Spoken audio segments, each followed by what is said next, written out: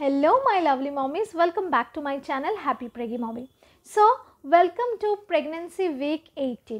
क्या क्या चेंजेस आएगा आपके अंदर डेवलपमेंट कहाँ तक पहुँचे आपके बेबी के अंदर आपका प्रेगनेंसी हेल्दी रहे और आपके बेबी हेल्दीली ग्रो करे उसके ऊपर कुछ इम्पोर्टेंट टिप्स मैं आज इस वीडियो में शेयर करने वाली हूँ और अगर आप लोग पहली बार हमारे चैनल पर आए हैं तो ज़रूर चैनल को लाइक शेयर एंड सब्सक्राइब करना वीडियो को शेयर करना आपके फ्रेंड्स एंड रिलेटिव्स के बीच में ताकि प्रेगनेंसी अवेयरनेस बनी रहे।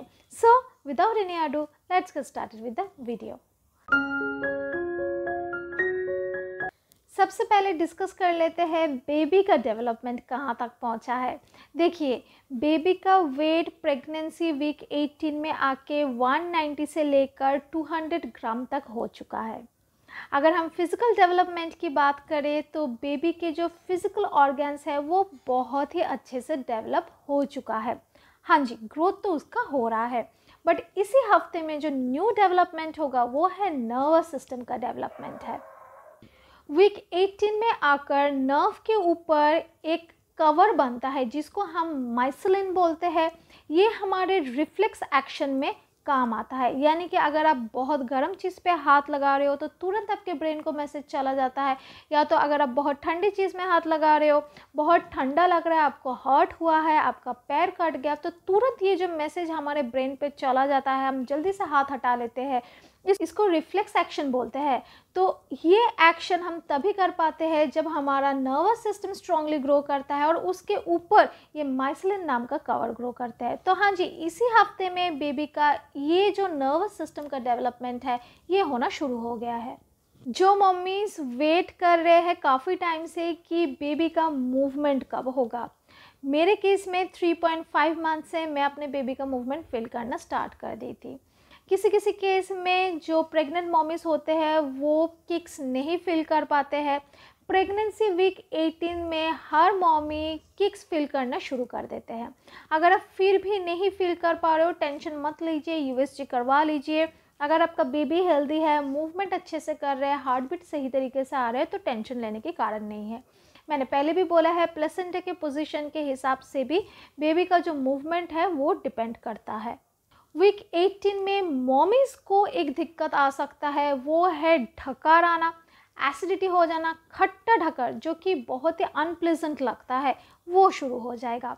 इसीलिए ज़्यादातर टाइम हम प्रेस्क्राइब करते हैं कि 30 मिनट्स आप वॉक कर लीजिए सीधे रास्ते पे। आपको ऊंचाई पे नहीं चढ़ना है स्टेयर्स जितना कम हो सके आप चढ़िए बट जो प्लेन रास्ता है, आप आपके रूफ पे भी वॉक कर सकते हो। 30 minutes normal walking is must from pregnancy week 18 एक और दिक्कत जो मॉमीज फेस करते हैं, वो है यूरिन अपने आप पास हो जाना।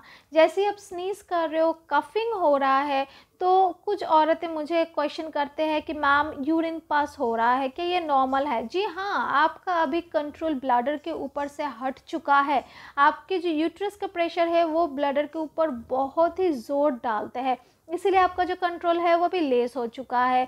ज़्यादातर टाइम रात के टाइम औरतें फ्रिक्वेंट जो यूरिनेशन है उसको फेस करते हैं। इसीलिए हम प्रेस्क्राइब करते हैं कि ज़्यादातर टाइम जितना हो सके कोकोनट वाटर पीजिए। इससे आपके जो यूटीआई का प्रॉब्लम है वो भी कम होगा। उसके साथ साथ जो वजाइने में पीएच बैलेंस होता है वो भी मेंटेन होता है। क्योंकि पीएच बैलेंस अगर एसिडिक ज़्यादा हो जाता है तो भी आपको इन्फेक्शन होगा।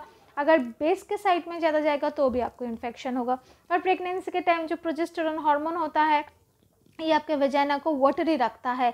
काफ़ी टाइम्स औरतें मुझे ये भी पूछते हैं कि बहुत ज़्यादा वाइट डिस्चार्ज हो रहा है। जैसे कि मैंने पिछले के कुछ वीडियो में भी बताई थी कि हमारे बॉडी प्रेगनेंसी के टाइम प्रोजेस्टेरॉन हार्मोन प्रोड्यूस करता है और वही हार्मोन हमारे वजाइना को एक प्रोटेक्टिव मेकनिज़म के तौर पे सपोर्ट देता है वाइट डिस्चार्ज फ्लो करके, ताकि इन्फेक्शन बेबी तक ना पहुँच पाए और प्रीमेच्योर डिलीवरी ना हो। थर्ड जिस प्रॉब्लम के बारे में मैं डिस्कस करूँगी प्रेगनेंसी वीक 18 में आ सकता है, वो है हाथ पैर में बहुत ही ज़्यादा क्रैम्पिंग होना, कमर में क्रैम्पिंग होना। खींच सा महसूस होना, नाड़ पे खींच लगना नर्व में खींच आना जब लेटते हैं लेट कर उठने के टाइम जब हम लेटते हैं करवट लेते हैं, उस टाइम पे भी ये जो नाड़े में खींच लगना, ये प्रॉब्लम प्रेगनेंसी वीक 18 से शुरू हो जाता है। अगर आपको ऐसा हो रहा है तो आप अपने फुट के नीचे पिलो रखिए, दोनों पैर के बीच में पिलो रखिए नीज को बेंड करके लेटिए, सर के नीचे पिलो रखिए और जितना हो सके विटामिन बी ट्वेल्व लीजिए। मूंग के दाल, पनीर, चीज़ इन सारी चीज़ों में बहुत ही हाई अमाउंट में विटामिन बी ट्वेल्व होता है। प्लीज़ उसको लीजिए। और अगर आप नॉनवेज लेते हैं नॉन वेज खाते हैं चिकन मटन अंडा खाते हैं तो भी बहुत अच्छे से आपके शरीर में विटामिन बी ट्वेल्व जाने का चांस रहता है।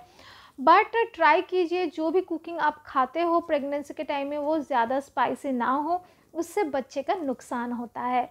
तो ये कुछ टिप्स एंड ट्रिक्स था जो मैंने आप लोग के साथ शेयर किया प्रेगनेंसी वीक 18 में जो दिखने को मिलता है जो आप लोग फेस करने वाले हो आगे जाके। और अगर आपको इनमें से कोई भी सिम्टम नहीं फील हो रहा है तो भी इट्स ऑल ओके याद रखना जितना कम सिम्टम होता है उतना हेल्दी प्रेगनेंसी होता है। सो so, डरने की बिल्कुल ज़रूरत नहीं है। प्रेगनेंसी को एंजॉय कीजिए। Happy pregnancy